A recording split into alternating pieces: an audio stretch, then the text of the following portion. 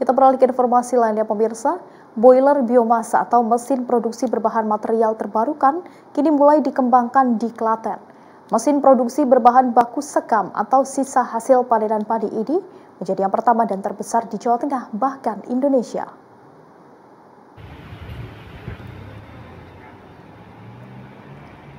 Boiler biomasa berbahan baku sekam padi dikembangkan Danon Specialized Nutrition Indonesia di kompleks pabrik PT Sari Husada Generasi Mahardika di Desa Kemudo Prambanan, Klaten.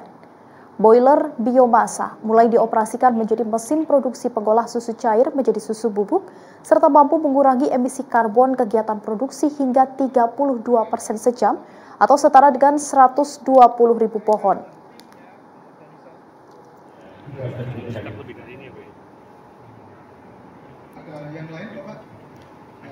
Vice President General Secretary Danone Indonesia Vera Galus Sugianto menjelaskan pembangunan boiler biomasa sekam padi menjadi salah satu komitmen dan visi Danone Indonesia dalam menghasilkan produk yang berkontribusi untuk kesehatan masyarakat dan ramah lingkungan.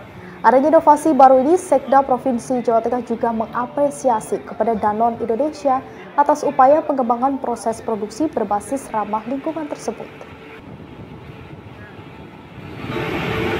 Ini sudah jadi kompos, sudah dicampur sama kotoran hewan. One Planet One Health. Artinya produk kami sudah sehat, berkontribusi untuk kesehatan masyarakat, tetapi tentu kita juga harus bisa menjaga lingkungan karena saling terkait. Nah, penggunaan atau pembuatan biomass uh, facility ini tentu untuk bisa menjaga produksinya tidak saja sehat tetapi ramah lingkungan.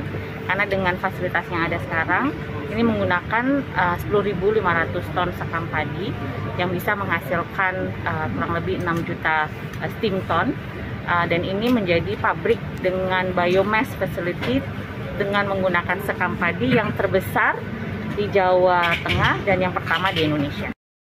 Kalau dari pemerintahan sebetulnya kan dari ini tidak hanya dari uh, Jawa Tengah ya, ya, pemerintah pusat juga dunia itu kan sekarang lagi proses mendorong untuk beralih dari energi fosil ke energi baru terbarukan.